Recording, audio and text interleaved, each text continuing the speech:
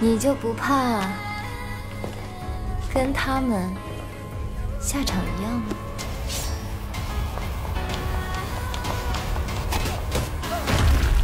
The man's name is Choke. He's a very capable killer because he often wore a black suit. It was called the Thug and suit by people in the industry. On this day, his wife was blown up and his brother Barton was kidnapped. Juke tracked him to a slaughterhouse where he met a woman in red. A fight ensues.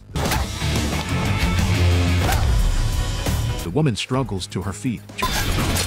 Juke took a step to avoid her.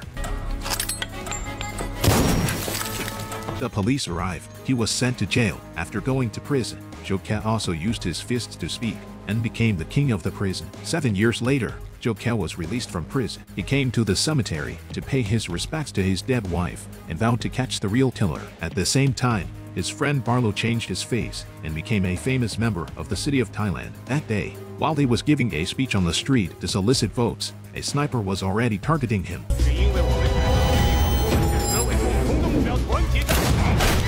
Patton dodged the bullet with his bodyguard. The sniper's position was compromised. Barton had his men shoot back immediately. The gunfire sends the crowd scattering. Barton saw a clown in a suit in the crowd. Patton followed him. The two men meet at a roadside stall. Barton unconsciously brings up the shooting and mentions that he wants Jack to join him. But now Barton is a congressman, and he's just a poor clown actor who's been to jail before. He's afraid of influencing Barton, so he rejects his offer outright. Barton took out a business card and handed it to him, hoping that he could contact him if he had any problems. When Joe came home that night, he heard Susie, the guard star. On the news, he had long investigated that Susie was not a simple man. Soon after, he found Susie's daughter, Sulaim. He waited for her on her way home from school. When she appeared, Joket took out his gun and aimed it at the back of her head. It turns out that Joke has known her for a long time. They're now friends. After playing a game of ball toss with him, Zulaine asked him to go to a parent-child class with her. Before Joket could say yes, Zulaine's mother came to see him. They had to say goodbye in a hurry. At that moment, a motorcycle rushed out from the road.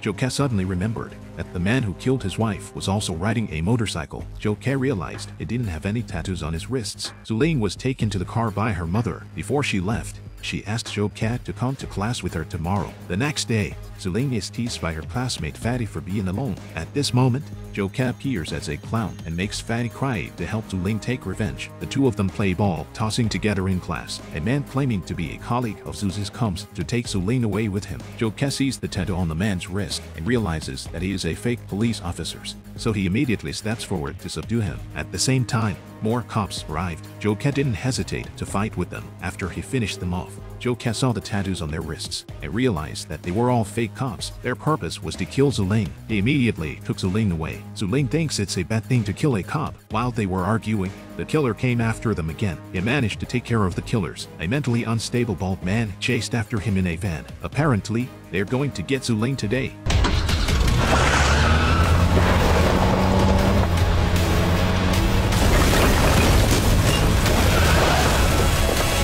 A grenade was thrown over. The man's car was instantly blown up. Just as Old Bai was getting cocky, his men told him that there was no Joe in the van, so Joe had already hidden himself. He took the opportunity to pull down the power and started his own night of carnage. Then he put a few bottles of reagents into the microwave to make a simple trap. He intentionally hanged one of his men with a chain. The sound soon attracted the attention of the others. When he heard Bai confess to all his crimes, he couldn't stand it any longer and beat him up before kicking him out of the room. Just as he was about to shoot, Zeus stopped him, saying he would take care of it all himself. Joe Cat had to fire a few shots at the surrounding iron pieces to vent his anger, leaving Old Bai with a small life, unbeknownst to him. This was the very thing that left him with a hidden danger. Joe Cat returned home to take Zulaine home, but Zulaine asks him to take her to a costume party at the amusement park. The two of them had a great time at the amusement park. Then Zuzi came to take Zulaine away. Although Joe Cat was reluctant to let her go, she was someone else's daughter. He could only send Zulaine away with a smile on his face. Just as he was about to leave,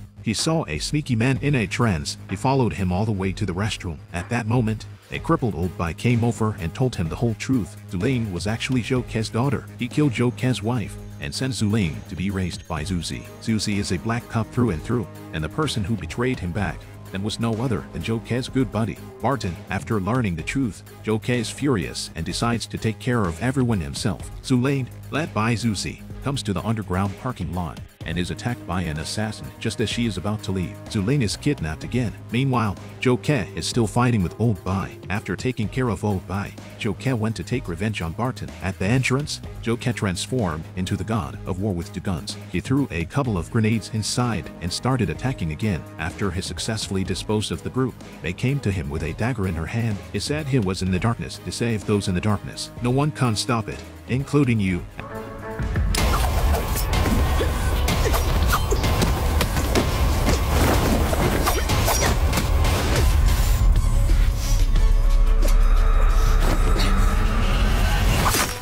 After taking care of Xiaomei, Zhou Ke came to Barton and asked him to let Zuling go, but Barton started to brainwash Zhou Ke. When he heard that Barton was so crazy, Zhou Ke didn't reply, but fought with him. Although Zhou Ke was Barton's teacher, but the two of them were equally matched, and Zhou Ke was even a little bit defeated. He could only force himself to fight in order to save his daughter. At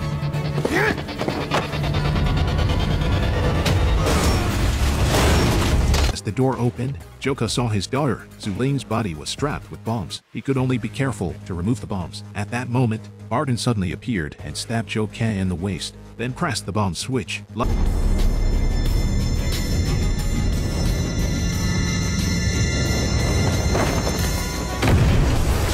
Luckily, he was still alive and limped out with Zuling in his arms. At that moment, gunshots rang out and Ke was shot in the chest. At that moment, Zuling saw the photo Ke was carrying. The little girl's birthmark on it was exactly the same as his. That's when she realized that her real father had been with her all along. But it was too late. She lost her father forever.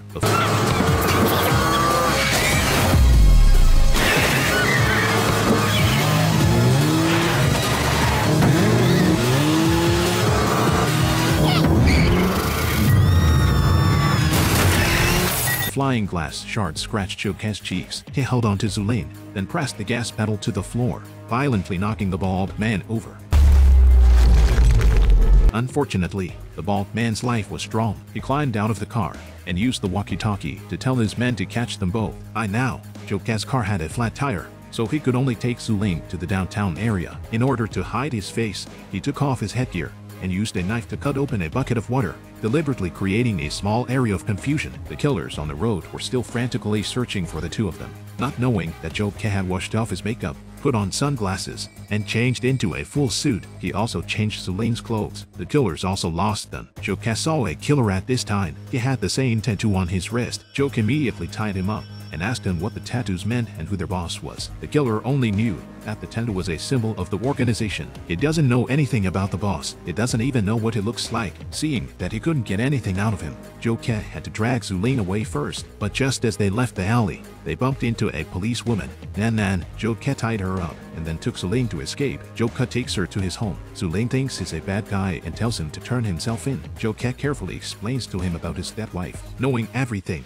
Zuline chooses to trust Zhou Ke again. Now, Zhou Ke needs Sulaine to draw out the murderer. He doesn't know what they want from her. As long as Sulaine is in his hands, the murderer will take the bait sooner or later. When Sulaine started to organize her school bed, Zhou Ke found a digital watch. Sulaine's mom had left it to him and it had a precise positioning system on it. Zhou Ke subconsciously realized that their position was probably exposed. At the same time, Bodhead and his men had already arrived at his house. It turns out that before they arrested Sulaine, they had already been to Zuzi's house, turned it upside down, and smothered Sulaine's mother with a plastic bag, and they were able to locate Sulaine's position in real time through her mother's tablet. Zhou Ke locked Sulaine in the house for protection. He waited in the hallway with instant noodles for Baldhead and his men to show up. Baldhead soon came over and searched from house to house. Zhou Ke, who had been waiting in the hallway for a long time, immediately fought with them. When they opened the door to go in, they were silently killed by Ke, who was so invisible after Ke finished off his men. Bald had appeared on the scene. Ke tied him up and arranged a massage for him, but he refused to confess. Joe had to increase his healing power and poured a pot of water on his head. Then he increased the voltage and electrocuted the bald head. Bald head saw that if he didn't say something,